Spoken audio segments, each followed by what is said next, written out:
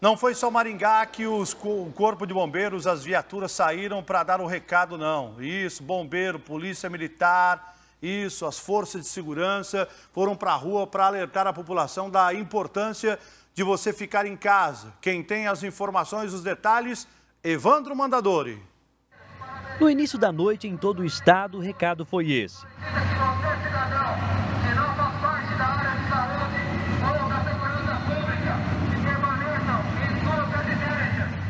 O Corpo de Bombeiros deixou o quartel com uma missão diferente, mas com o mesmo intuito, o de salvar vidas por meio de um alerta. O pedido é que a população fique em casa para reduzir a propagação do Covid-19. E essa mensagem foi emitida em Maringá.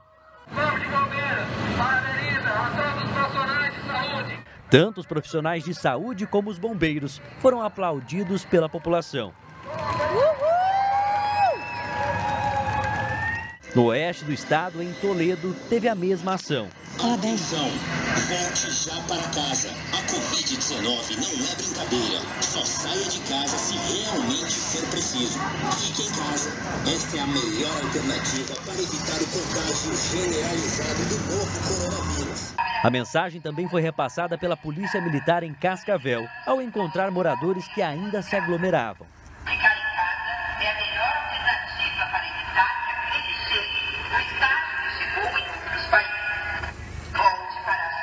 Com o recado policial, aos poucos os moradores foram indo embora.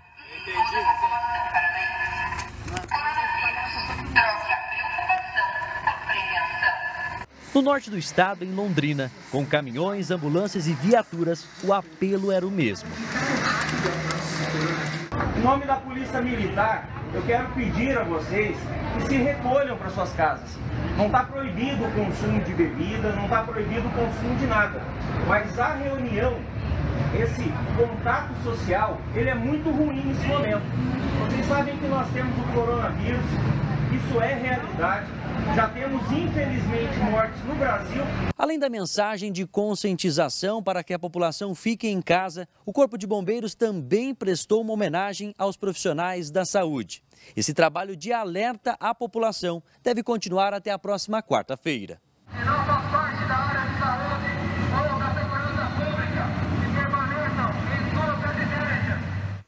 O, o recado está sendo dado por todas as autoridades, pela Polícia Militar que está abordando o comércio, pelo Corpo de Bombeiros que está passando pelas ruas, pelas autoridades dos municípios que estão orientando, as pessoas que estão falando, os prefeitos dos municípios que estão gravando vídeo, estão falando através do, das suas páginas sociais, é, relacionando com os moradores, dando informações.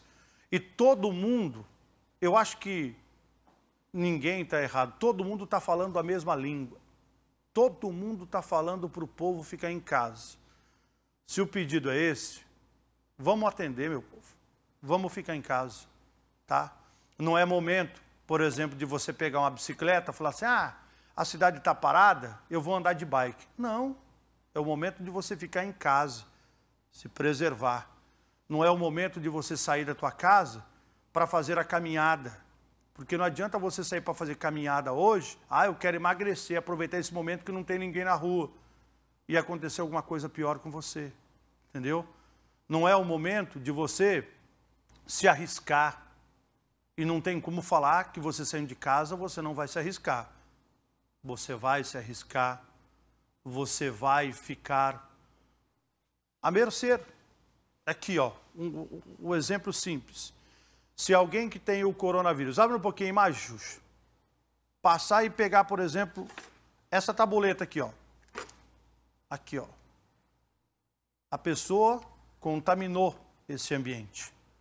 Aí chega uma outra pessoa e pega a tabuleta. E aí? Está contaminado. Passou no olho, na boca, no nariz. E hoje, rapaz, eu estava eu, eu, eu, conversando com a minha esposa. Por que, que quando proíbe alguma coisa da gente, que a gente não pode passar nada na, no, no, no, nariz, na boca, no olho, aí que você, parece que você quer coçar o nariz toda hora, não é? É igual fala negócio de, de tossir.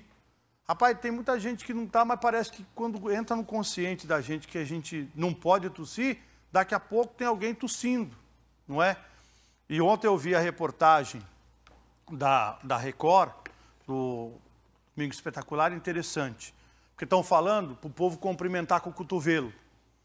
Aí um especialista estava falando ontem no, no Domingo Espetacular, como assim se cumprimentar com o cotovelo? A maioria do povo está sendo orientado a hora de tossir fazer assim, não é? Você vai espirrar, eles mandam você espirrar aqui. E aí você pega e vai ficar cotovelando outras pessoas. Aí o, o especialista falou assim: não, nem negócio de cumprimentar com o cotovelo, não. É você se resguardar no seu, no seu ambiente, na sua. E outra coisa, para você que está saindo de casa, não é exagero, não. O médico ontem explicou também, eu assistindo a Record. Ontem eu fiquei à noite assistindo a Record, vendo as reportagens do mundo inteiro.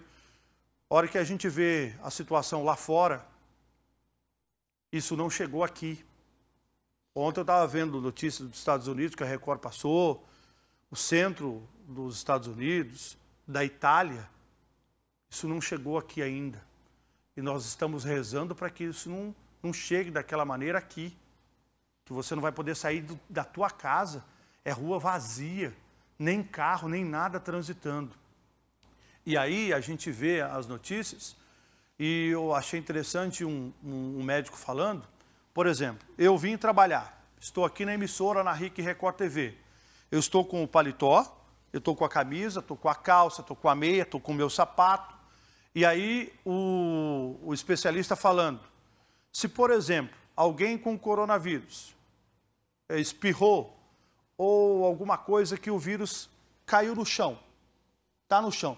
E eu estava vendo uma reportagem lá do, do tempo que demora para o vírus sair de onde vai, entendeu? É muito grande esse tempo. Aí vou, vou dar um exemplo simples para a gente ter uma noção, e eu achei muito interessante a fala do doutor.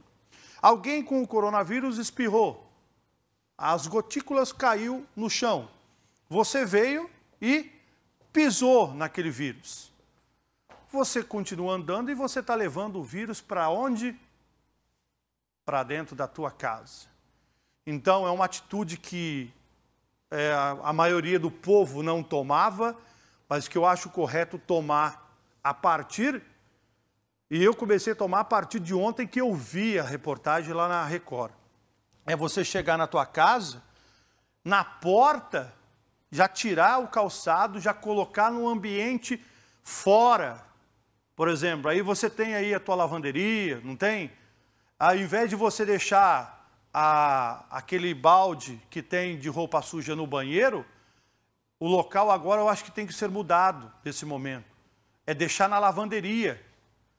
É você chegar e tirar a sua roupa, claro, não vai sair pelado também pela rua, pelo amor de Deus mas é você ir para o ambiente para você tirar ali o seu calçado, para tirar a tua roupa e colocar ali para ser lavado, para ser higienizado. Tudo. Entendeu?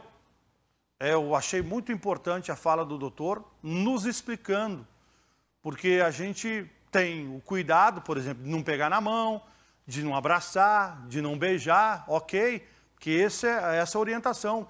Mas agora a orientação que está chegando é essa, com a nossa roupa. Entendeu? Eu tive contato, por exemplo, eu vim aqui na emissora. Não tem muitos funcionários trabalhando, mas tem alguns. E, queira ou não, nós estamos aqui. Ó, eu estou numa distância daqui, mais ou menos de dois metros do, do cinegrafista que está fazendo um movimento na câmera. Então, não tem como a gente estar tá fazendo, tendo esse contato. Imagine, então, você que está andando de circular. A circular, de manhã, na hora do serviço, você está junto com tanta gente. Entendeu? Imagine então o motorista da circular, que a maioria do povo tem que passar do ladinho dele. Ele está sentado ali, não é? Se coloca no lugar do motorista da circular hoje em dia. Ele está ali sentadinho no lugarzinho dele para levar o ônibus, mas todo mundo está passando perto dele. O ambiente, se fala que é para abrir as janelas, ok, mas pode abrir a janela, tudo quanto é janela de ônibus, não vai entrar o ar suficiente para tirar qualquer vírus ali. Então, são atitudes que nós temos que tomar, mudanças de hábitos mesmo, para a gente conseguir frear. Ô, Cátia, se você puder pedir para puxar e fazendo, se o Luiz puder puxar, o gráfico, que tem muita gente que me assistiu sexta-feira e tem muita gente que estava trabalhando na sexta, que hoje já, não, já está em casa com a família, para você ter uma noção do gráfico, que o gráfico é o que nós estamos vendo agora, que nós estamos no limite. Inclusive, os médicos falam do limite. Região de Maringá. Infelizmente, nós estamos no limite. Tem cidades da região que não tem nenhum material para entubar uma pessoa para trazer do município até Maringá, por exemplo, que é uma cidade de referência. Aqui, para vocês terem uma noção, nossa região, nós estamos aqui nesse risquinho preto, ó. Coloca a tela cheia para o povo ver lá. Tá vendo o risquinho preto? Esse risquinho preto aí no meio da televisão é a capacidade do sistema de saúde. Maringá, nós estamos, estamos no, no risquinho preto, pelo que os médicos e a saúde falam. Nós estamos nesse limite. Alguns e a maioria dos prefeitos da região estão tomando medidas, medidas para tentar conter o coronavírus na nossa região. Se nós, vem comigo aqui para me explicar, mostrando para o povo, depois eu coloco o talaxê. Se nós continuarmos fazendo o que todos estão pedindo, que é ficar em casa, é não ter contato com outras pessoas, é tendo o respeito de paralisar mesmo aí ó, a sua família dentro do seu ambiente onde você está cuidando. Isso, não adianta só ficar dentro de casa, você tem que cuidar, você tem que é, não, ah, não tem álcool em gel, é, que boa lá, que, como é que é, água sanitária, é, é que boa mesmo, né? É, mas não é, que boa é uma marca. E fala para mim, água sanitária, com água para você desinfectar o teu ambiente da tua casa, usar ali alguns produtos e ó, o tempo todo, se puder, passou perto do banheiro, lava a mão com sabão, lavar, é lavar, é lavar, é lavar. Se nós tomarmos todas essas atitudes, nós vamos chegar nesse pontinho preto e vamos começar a descer. Se Deus quiser, isso vai ocorrer na nossa região. Coloca a tela cheia, a parte azul para você ver. Nós estamos no limite, entendeu? Nós estamos no limite. O gráfico é esse. Se nós conseguirmos toda a nossa região, mas não é só uma cidade não, é todo mundo se unir nós vamos conseguir fazer esse gráfico azul e nós vamos ver menos gente com coronavírus, menos, menos gente com coronavírus, menos gente morrendo, porque a realidade está chegando. Agora, se você que está me vendo fala assim, não, salsicha, tem perigo não, tem gente que pensa assim. Ah, que? Teve gente que fez churrasco nesse final de semana. Teve gente que uniu aí 40, 50 pessoas para festar. Teve gente que não estava se preocupando com ele mesmo e quem da família dele. Teve pessoas que convidaram amigos para festar, para fazer festa, para fazer baile, para colocar som alto. Meu povo, põe o gráfico de novo aqui, ó. Se nós não tomarmos providência e algumas atitudes, olha o gráfico lá, ó. Olha o gráfico lá. Olha a altura.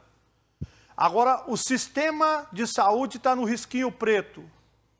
Se acontecer o gráfico vermelho meio puxado aí para o vermelho, onde nós vamos parar, meu povo? Onde nós vamos parar? Então, é a consciência de todo mundo, é a consciência de todas as pessoas. E você tem que dar exemplo.